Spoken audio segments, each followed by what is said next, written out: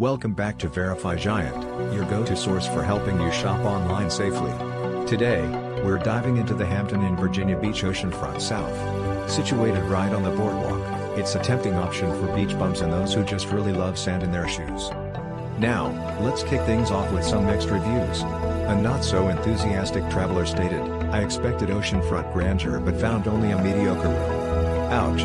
But, hold on to your flip-flops, because another guest raved, the ocean view was amazing, and the room was super clean.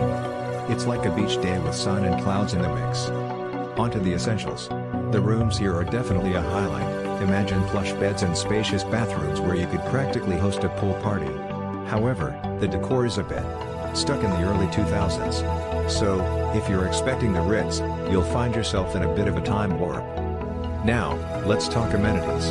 There's an indoor pool and dining options at the 11th St. Tap House, but if you're after gourmet dining, you might want to step out. Just across the street, there's a convenience store, which is great for late night snacks, because who doesn't crave a midnight snack attack by the ocean?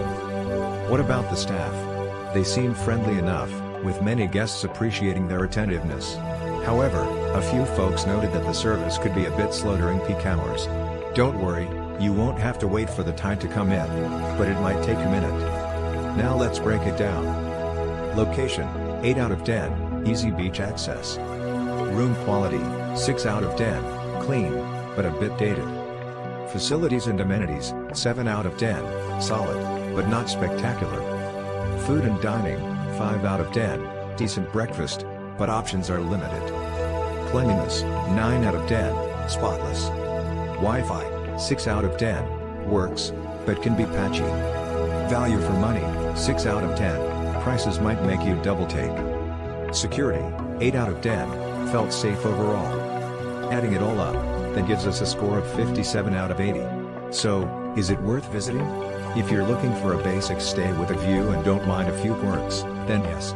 But don't expect luxury, it's more like a cozy beachside pit stop.